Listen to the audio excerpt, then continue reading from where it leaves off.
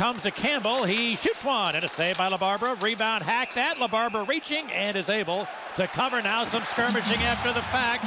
Skille might have a go as he's wrapped up with Lepisto. Sami Lepisto and Jack Skille. Each man with a shield on. They've flailed with a couple of rights and down they go.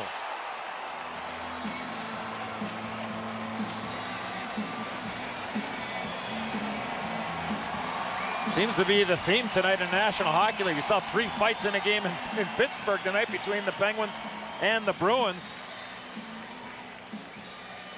It's got a, you can see Skille looking at his hand. It's, Yeah. You hit a guy's shield. Yeah, right, You got to go to the uppercut, don't you? And what, what am I asking you for? Yeah, that's exactly.